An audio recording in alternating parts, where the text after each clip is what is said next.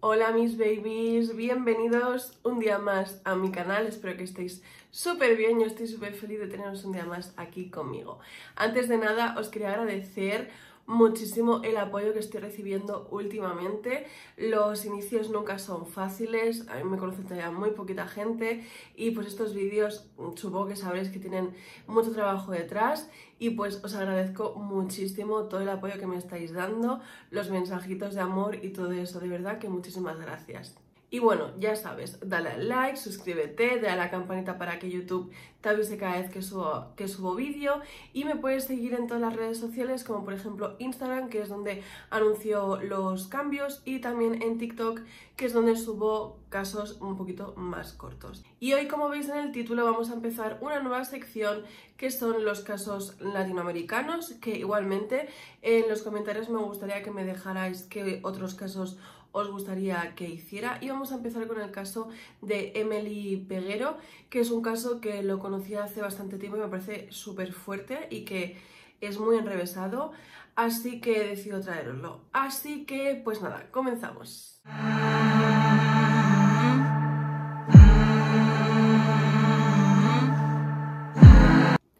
Emily Peguero nació el 12 de junio de 2001, hija de Genaro Peguero y Adalgisa Polanco. Su tía Liliana decía que había nacido con los hoyuelos que había heredado de su mamá. A Emily le gustaba el color fucsia, le gustaba cocinar, jugar al, baloncesto y un baile típico que se llama la masculina, en el que se usan trajes típicos de colores vivos y a Emily le encantaba porque aprovechaba para maquillarse y verse muy femenina. En aquel momento Emily estaba cursando tercer grado de bachillerato. No sé realmente cómo funcionan los estudios en la República Dominicana, así que si me equivoco es la información que he encontrado, pero si me equivoco me podéis corregir. Emily vivía en San Rafael de Senoví, en la provincia de San Francisco de Macorís, con sus padres y sus dos hermanos, un chico y una chica.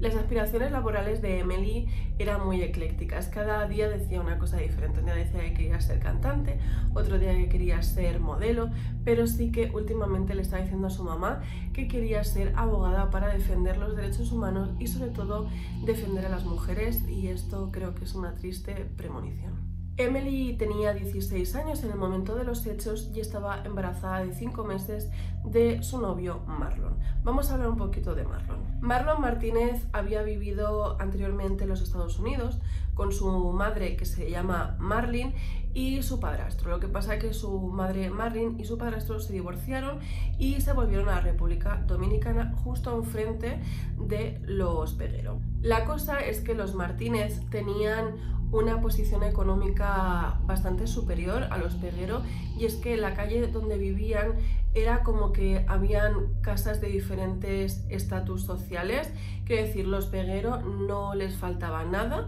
pero no se podían dar lujos, sin embargo los Martínez sí, ya que Marlene Martínez trabajaba como secretaria eh, general de pasaportes. Aunque tuvieron una clase social diferente, los Peguero y los Martínez se llevaban muy bien, o al menos eso lo que parecía. Y como se veían muchas veces, porque realmente una casa estaba enfrente de la otra, pues al final Emily y Marlon acabaron estando juntos y pues empezaron una relación. La familia de Emily se había enterado hacía muy poquito de que ya estaba embarazada, a pesar de que Emily estaba embarazada de, de cinco meses, no se lo quiso decir desde el principio, pero cuando se enteraron, a pesar de la sorpresa, le apoyaron muchísimo y hacía poco que habían ido a una ecografía en la que le habían dicho que el bebé estaba estupendamente y que era un niño.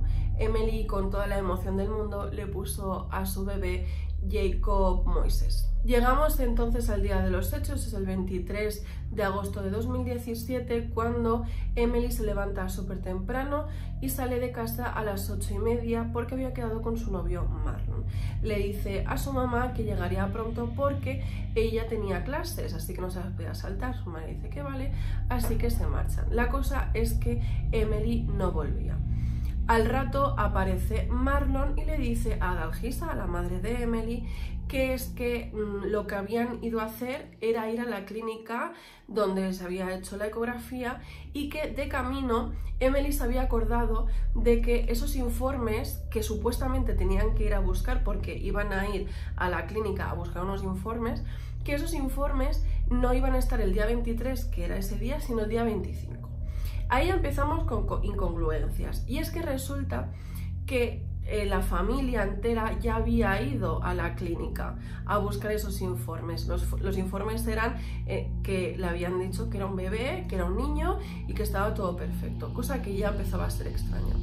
La cosa es que cuando volvían, supuestamente para volver a casa, eh, Emily le dice a Marlon que le deje en un cruce donde hay una gasolinera, bomba de gasolina, no sé cómo lo decís en, en vuestro país, aquí se dice gasolinera.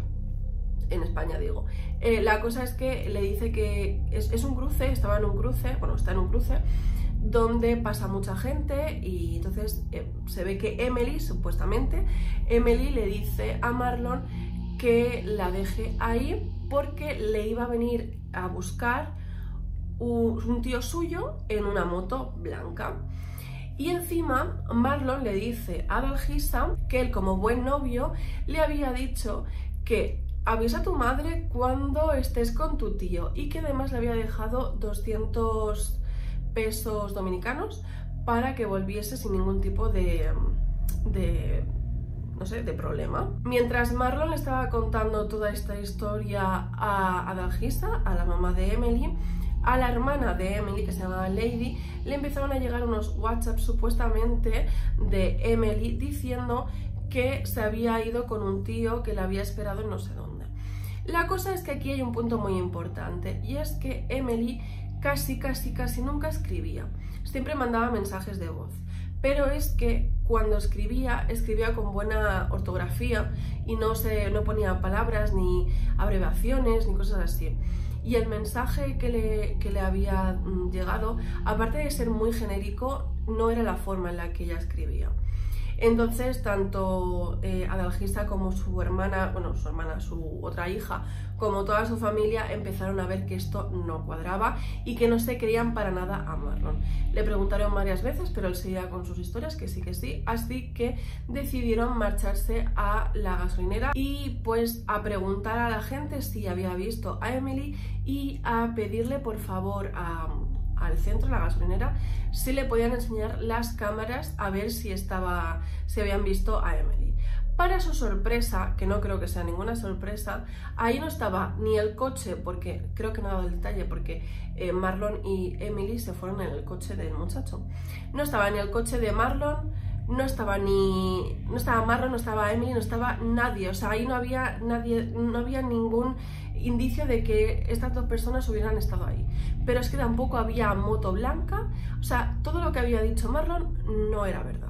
Es entonces cuando Adalgisa, que estaba plenamente preocupada porque no encontraba a su hija y ya sentía que su novio le estaba mintiendo, es que encima su hija estaba embarazada de cinco meses, no aparecía, fue entonces cuando llama a Marlene. Marlene recordamos que es la madre de eh, Marlon, ¿vale?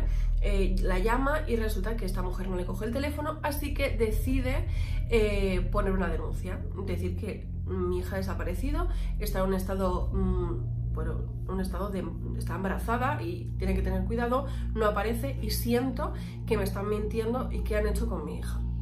Así que desde ese preciso momento toda República Dominicana se entera de, de, este caso y empieza a salir en las noticias, empieza a salir en redes sociales y la gente ya empieza a sospechar de tanto Marlon como de, de Marlene. La desaparición de Emily ocurrió el día 23, el día 24 había estallado esta noticia por toda República Dominicana y yo creo que por toda Latinoamérica de que Emily Peguero había desaparecido y el día 24 dadas que todo el mundo empezaba a apuntar con el dedo a Marlon y a Marlene, decidieron estos dos hacer conceder una rueda de prensa.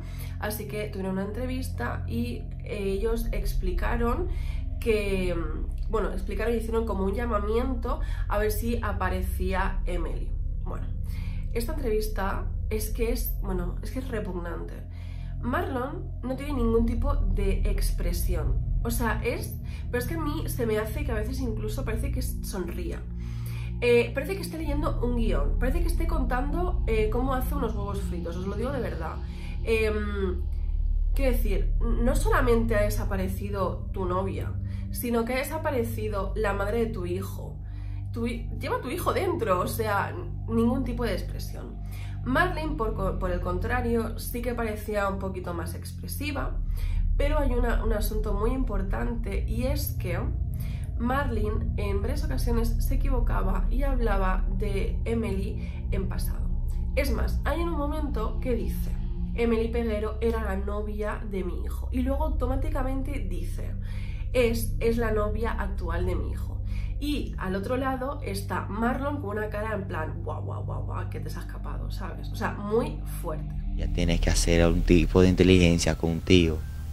Bueno, yo me paro y le digo, dile a alguno de tus familiares que yo te voy a dejar ahí porque no te puedo dejar sin saber que yo te dejé ahí sin que tu familia sepa que yo lo vi. Eh, ella era la novia de mi hijo eh, la es la novia de mi hijo actual.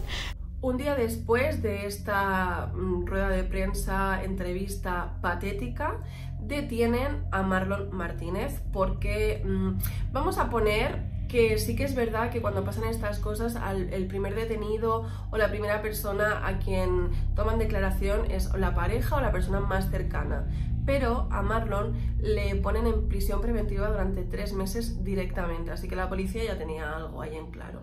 La cosa es que al día siguiente, bueno, la policía está investigando, ¿no? La policía no para de investigar y hay que decir que la investigación policial fue bastante buena y al día siguiente, el día 26, empiezan a registrar todas las propiedades de la familia, porque no solamente tenían la casa que estaba enfrente de los Peguero, sino que también tenían un, apartamento en una zona bastante lujosa. Era un apartamento que normalmente no utilizaban y que Marlene Martínez lo utilizaba muchas veces para alquilar, pero en aquel momento no estaba alquilado, estaba completamente vacío. Y lo registran y, oh, sorpresa, aparece un colchón eh, lleno de sangre y con unas sábanas también repletas de sangre y es en plan, bueno, a ver, ¿vais a empezar a decirnos la verdad o qué está pasando? Obviamente toda República Dominicana se vuelve a tirar al cuello de estas dos personas, de, de Marlene y Marlon Martínez, y a su vez la policía le dice a Marlon, vamos a ver, empieza a hablar por tu boquita qué es lo que has hecho. Así que Marlon cambia la versión y cuenta que es que no lo había dicho antes porque es que estaba muy nervioso y no quería él parecer culpable. Claro, hijo, él cuenta que ese día se había llevado a Emily a ese apartamento, no sé, no sé a qué, porque nunca habían estado en ese apartamento. Bueno, la cosa es que se la lleva a ese apartamento y dice que Emily se encontraba muy mal, que no podía apenas caminar, que tenía mucho dolor de estómago y que eh, subieron por las escaleras porque el ascensor estaba estropeado, a pesar que era una mm, planta bastante alta y que no podía apenas caminar, que se encontraba muy mal, muy mal y que una vez llegados ahí arriba al apartamento dice que empezó a desangrarse y que él estaba muy asustado y pues mm, tiró el cadáver porque no tenía miedo, no sabía qué hacer. Pero él dice una y otra vez que él nunca había hecho nada, que él no le había hecho nada y que simplemente estaba muy asustado. Pero ¿qué pasa? Que la policía sigue investigando y detienen para tomar declaración a Kevin Jiménez, quien es el conserje o el portero del bloque de edificios donde estaba este edificio del que estamos hablando. Y resulta que este hombre dice una cosa, bueno, unas cosas muy fuertes. Este hombre explica que sí, que vio a Emily y a Marlon subir por las escaleras ese día, que efectivamente fueron para allá, pero que Emily estaba en perfectas condiciones, estaba sonriendo, estaba bien, estaba contenta, pero lo más fuerte de todo es que este señor dice que nunca vio bajar a Emily desde ese apartamento, pero lo más fuerte es que unas dos horas más tarde vio cómo bajaba Marlon las escaleras con una bolsa eh, de basura de estas industriales negras eh, con algo muy pesado era una cosa eh, muy, muy, muy extraña. Dice Kevin Jiménez que no intentó acercarse a Marlon, no intentó hablar con él, pero sí es verdad que como tenían las cámaras de seguridad, decidió llamar a Marlene Martínez para, bueno, la madre de Marlon, para mm, explicarle qué le había pasado. Bueno, la cosa es que Marlin mm, se presenta allí y este señor le enseña, las cámaras, le enseña las cámaras de seguridad y cuando ve esta cosa tan extraña, que es que él baja por las escaleras con una bolsa muy pesada y la chica no está por ningún sitio, Marlene se lleva las manos en la cabeza y empieza a gritar, ¿qué es lo que ha hecho mi hijo? Muy fuerte. Y claro, tú dices, estos son unas pruebas súper importantes, o sea, con esto ya está. Bueno, pues estas cámaras desaparecen.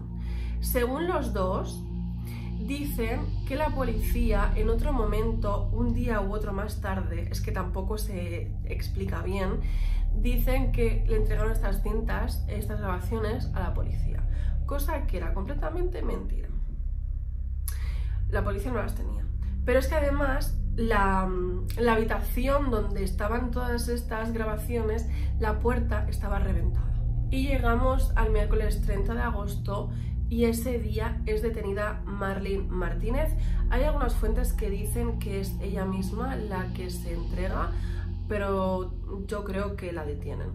La cosa es que hay una bueno, hay una, un clip, una grabación de, de, ella detenida en la que una reportera le pregunta si ha sido cómplice, qué es lo que ha hecho, y ella dice yo actué como una madre.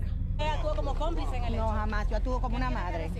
No, no soy cómplice. Porque yo, yo... conocimiento ese mismo día en el que madre e hijo ya estaban eh, metidos en la cárcel esperando un juicio, eh, Marlon decide confesar que sí, que había matado a Emily, pero que la había matado en defensa propia, según él, y que había tirado el cadáver en un basurero. La policía va allí y no encuentran por ningún lado el cuerpo y ya empiezan las manifestaciones pidiendo justicia, eh, pidiendo que dónde estaba el cuerpo, porque aparte de la familia poder descansar y que se pueda cerrar el juicio, supongo que sabréis que sin cuerpo es muy difícil encarcelar a las personas o mm, darles una sentencia firme y, justa, así que es muy importante tener el cuerpo, así que estaban todos haciendo muchísimas manifestaciones. Lamentablemente el día siguiente, el 31 de agosto, el hermano de Emily empieza a recibir por WhatsApp un montón de mensajes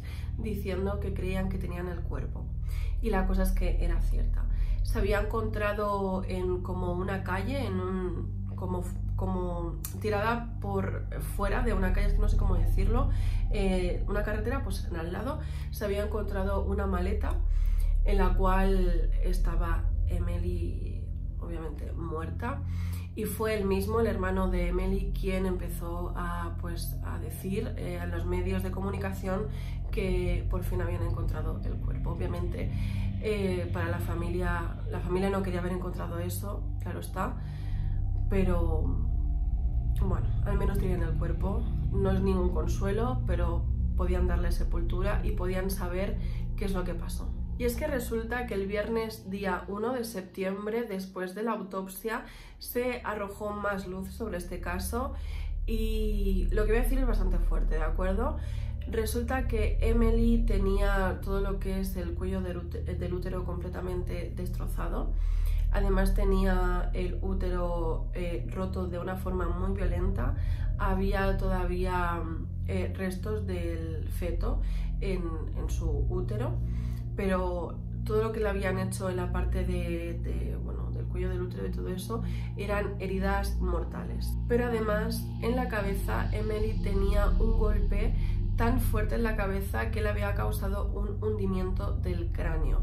Quiero decir, si tú empujas a una persona y se cae y se da en la cabeza, jamás se le hubiese hecho eso en la cabeza. O sea, había sido un golpe tan fuerte que le había hundido el cráneo.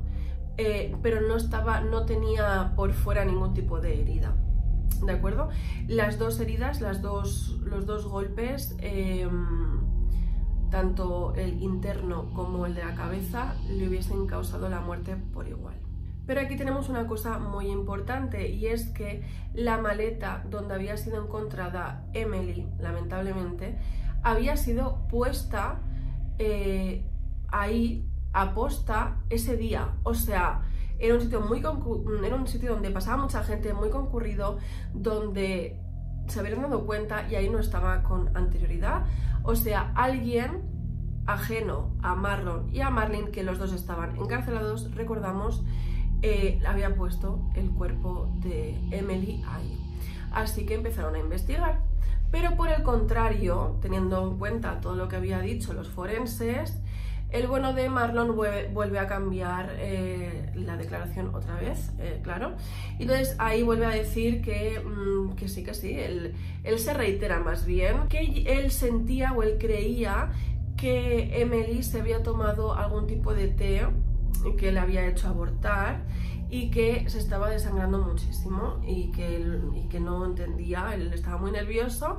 Dice que se, que se enfadaron y que e, ella se le fue a tirar encima y pues él le empujó y se desnugó. Repito, antes lo he dejado, lo he, lo remarcado para que entendáis que si Emily se hubiese caído y se hubiera dado un golpe en la cabeza, jamás hubiese tenido el hundimiento de cráneo, que es lo que tenía esta mujer en la, en la cabeza, ¿vale? Que que no hay ningún tipo de defensa para esta persona.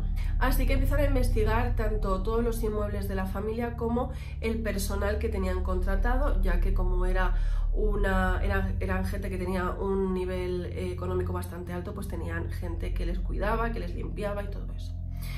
Eh, las casas, quiero decir.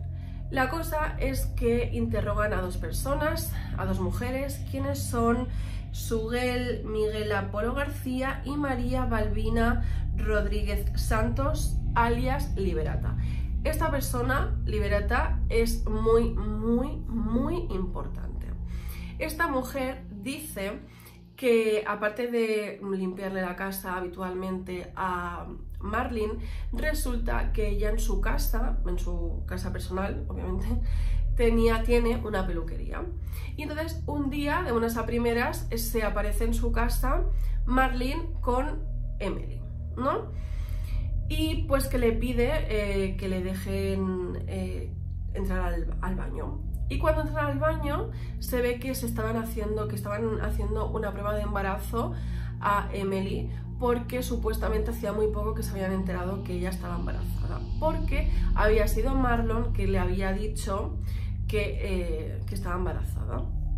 Cuando salen del baño, Marlene estaba contenta porque iba a ser abuela, pero Emily estaba con una cara completamente descompuesta, estaba triste, nerviosa, pálida o estaba fatal.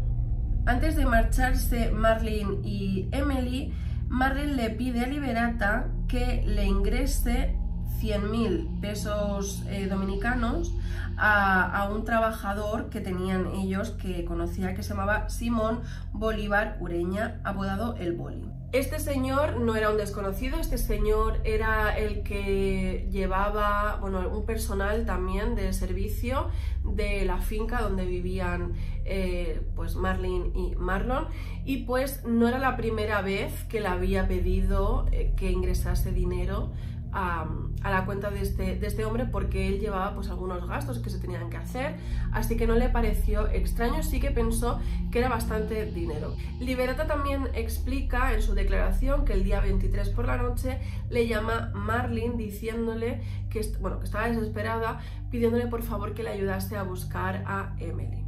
Al día siguiente, Liberata tenía que limpiar, como casi siempre, limpiar la casa de, de Marlene y le parece muy extraño que no aparece un, trapo. Se dice en la información que he buscado que es un trapeador. No sé lo que significa trapeador, o sea, no, no, entiendo. Yo entiendo que pueda ser un trapo, pero no lo sé. Sé que es un producto de limpieza, ¿vale? O sea, un, no un producto, no, o sea, una herramienta de limpieza. Esto le resulta muy extraño a, Liberata porque esta familia, ya que tenían un nivel económico alto, nunca, jamás, nunca, de los nunca, limpiaban. O sea, nunca había desaparecido en todos los años que llevaba esta mujer eh, sirviendo de esta manera a, a, Marlene que haya desaparecido esto. Así que le parece raro. Como es normal, la policía, después de esta declaración, van a buscar a Simón Bolívar Ureña, apodado El Boli, para también eh, tomarle declaración. Y este señor cuenta unas historias muy fuertes. El boli cuenta que el día 24 por la noche Marlene le llama por teléfono a la 1 de la mañana y le dice que por favor que se presente a la finca. Simón Bolívar Ureña era como el gerente de las fincas que tenía Marilyn y pues era el que llevaba pues eso, eh, los pagos y todo eso, ¿no? Bueno, se encargaba como de muchas cosas era una persona muy de confianza.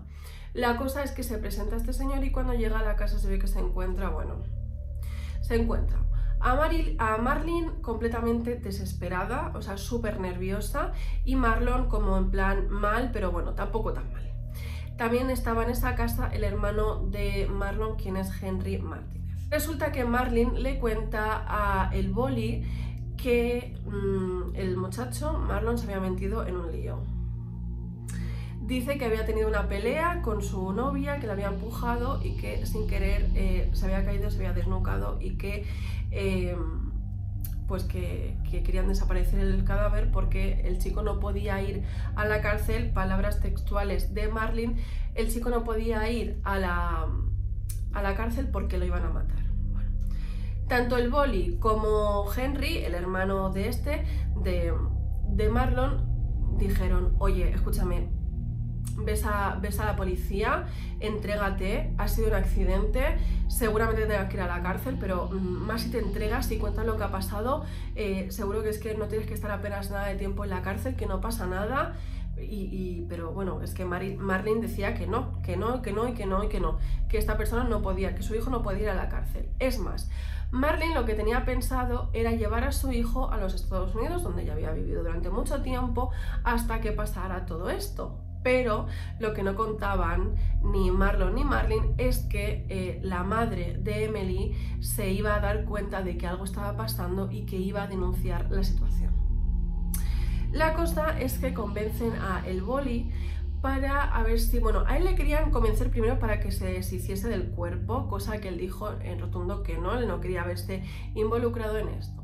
Así que convencen para que vayan tanto Marlon como el boli a un barrio un poco conflictivo a ver si encontraban a alguien, pagándole, claro está, para que hicieran desaparecer el cuerpo. O sea, es que es muy fuerte. No encontraron a nadie. Así que Marlon le pide por favor al boli que vayan a buscar el cuerpo de Emily, que lo había tirado en un, en un basurero. Es que es tan fuerte, tío. Y que lo metan en el maletero del coche hacen esto y automáticamente cuando esto pasa el boli recibe instrucciones de Marlin diciéndole que mantenga el cuerpo en el maletero que una persona se iba a deshacer de este. Así que él estaba esperando a que esto pasara y efectivamente llegó un día en el que el cuerpo ya no estaba en, en el maletero y entonces él llevó el coche a limpiar mm, porque olía obviamente mal que él ya no sabe mm, cómo se deshizo el cuerpo ni sabe nada. Nunca se sabrá si este hombre tenía algo que ver, él, le interrogaron durante bastantes horas, él decía que no.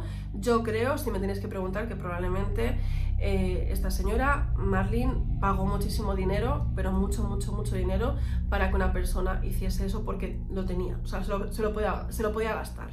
Simón Bolívar Ureña también cuenta una cosa más y es que como él era el que gestionaba las fincas y todo eso, pues resulta que un día estaba en casa y estaba Marlene también cuando recibe una llamada de su hijo. Y es que su hijo Marlon le dice que su novia Emily está embarazada de 5 meses. Y es ahí cuando Marlene se pone como un basilisco a chillarle y a decirle que, eh, que si ha sido tan macho como embarazarla es, eh, bueno, para dejar a su novia embarazada, es tan macho como para hacerse cargo de esto. Y no lo decía en un tono de te tienes que hacer cargo, tienes que ser un buen padre, si no tienes que hacerte eh, cargo de esto, cómo acabar con esta situación y vosotros ya me entendéis a lo que me estoy, a lo que me estoy refiriendo.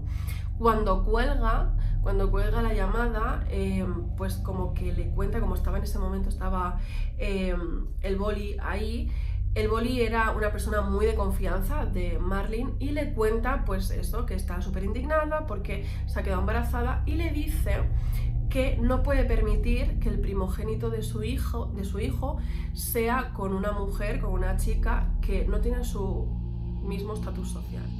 O sea, esta mujer lo que le estaba pasando es que ella quería como una persona, eh, pues eso, rica o de buena posición social. Todo esto que estaba pasando, todo esto que le había hecho y que le había movido todos los hilos, lo había hecho la madre, lo había hecho Marlene, todo esto era porque ella se creía de un estatus social mayor que los pegueros. O sea, es que es muy fuerte. Después de las investigaciones y de tomar declaración a todo el mundo y todo esto, por fin el 31 de octubre de 2018, o sea, hace nada, pues empezaban los juicios contra Marlene y contra mm, Marlon Martínez. En los juicios salen a la luz unas capturas de pantalla que enseñan los abogados de, los Martínez, em, en los que supuestamente es Emily quien dice que quiere acabar con, su, con su, embarazo, que no quiere tener al bebé. Vale. Estas capturas de pantalla son completamente falsas. Si os la ponéis a leer, primeramente no hay nombre y después eh, dos cosas, o sea, la madre de Emily ya había declarado, aparte tenía pruebas, tendría mensajes de su hija en el móvil en el que se veía que su hija siempre hablaba por, por, mensaje de voz, por, por, audio, y más una cosa tan importante, o sea, o lo hablas por teléfono o si lo quieres explicar siempre mejor por audio, ¿no?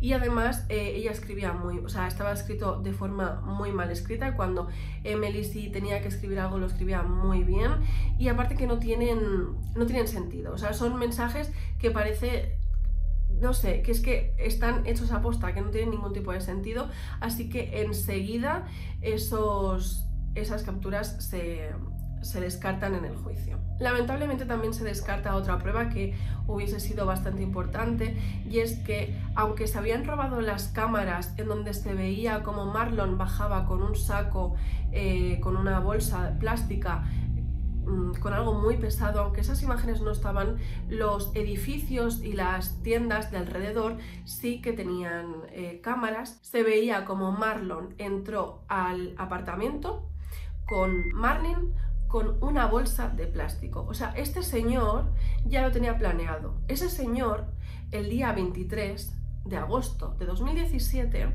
fue con su novia al apartamento ya sabiendo qué es lo que iba a hacer. Lamentablemente se descartaron el juicio porque no se veían con claridad, se veían bastante borrosas y no se podían tener en cuenta.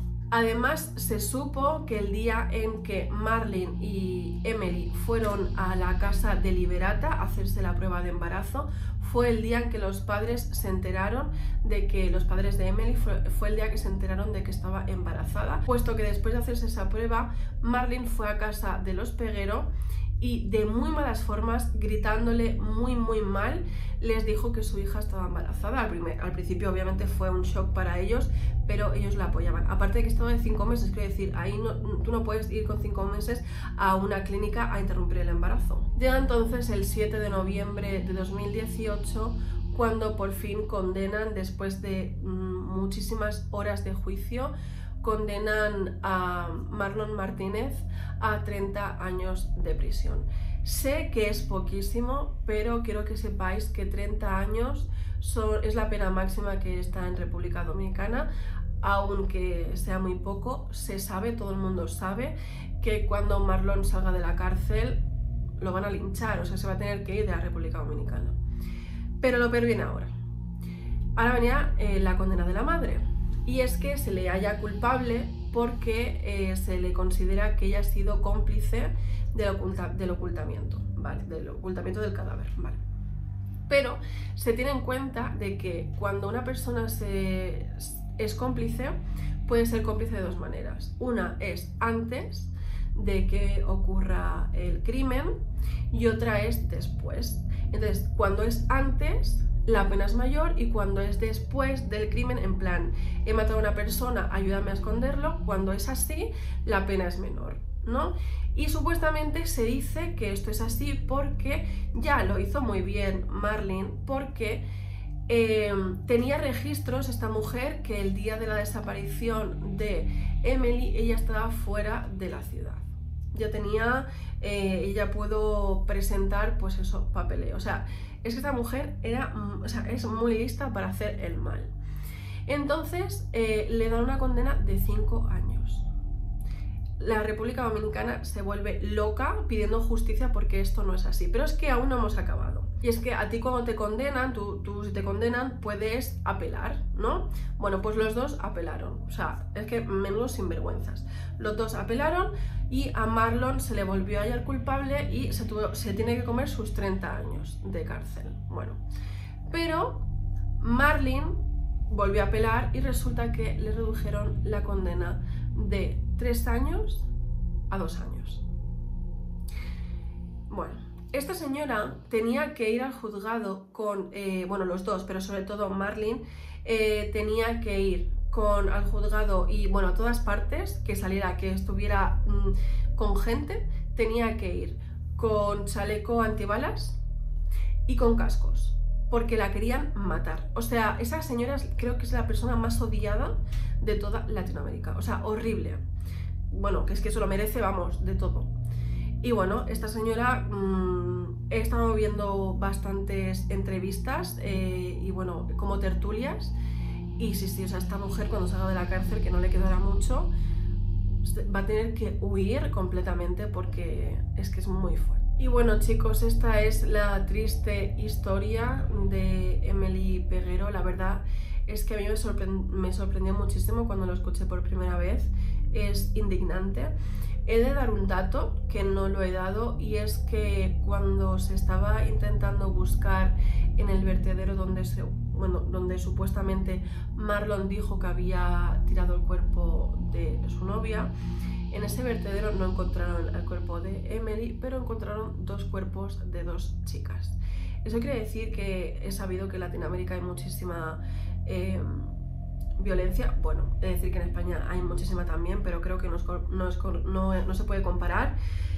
Eh, pero es que triste, o sea, qué, qué triste, de verdad. Pero en fin. Bueno chicos, como os he dicho, hasta aquí el caso. Eh, nada, que os quería volver a agradecer muchísimo eh, todo el apoyo que estoy recibiendo. De verdad, muchísimas gracias. Porque de verdad que hay muchísimo, muchísimo, muchísimo trabajo detrás de esto. Este vídeo este es la segunda vez que lo grabo porque ayer tenía literalmente el cerebro fundido y no pude grabar porque no me salía absolutamente nada. Y bueno, también quería deciros que habéis visto que en la pestaña de comunidad he puesto esa encuesta de si queríais vídeos con maquillándome o no. Ha salido ganadora el no, pero por muy poco. Así que de vez en cuando haré casos maquillándome. También es verdad que yo que pienso, yo no, lo, yo no lo siento así, o sea, yo veo muchos vídeos sobre estos y yo no lo siento así, pero yo puedo llegar a pensar, o la gente se puede llegar a pensar, que si yo me estoy maquillando mientras estoy contando un caso de estos, em, como que le estoy faltando un poco pues la seriedad que tienen. No es mi intención, ya lo dije en el anterior, pero sí es verdad que igual eh, vídeos más mm, tranquilos, que haga extra y estas cosas, igual sí que hago maquillándome porque la verdad que está guay. Y nada, os quería enseñar mi iluminador, que no se ha visto bien, que es de Shein y es súper Coachella y estoy in love. Y es que no se ve, estoy un poco triste. Bueno, nada chicos, muchísimas gracias. Seguidme en Instagram y en TikTok. Gracias por el apoyo y os como vuestra cara.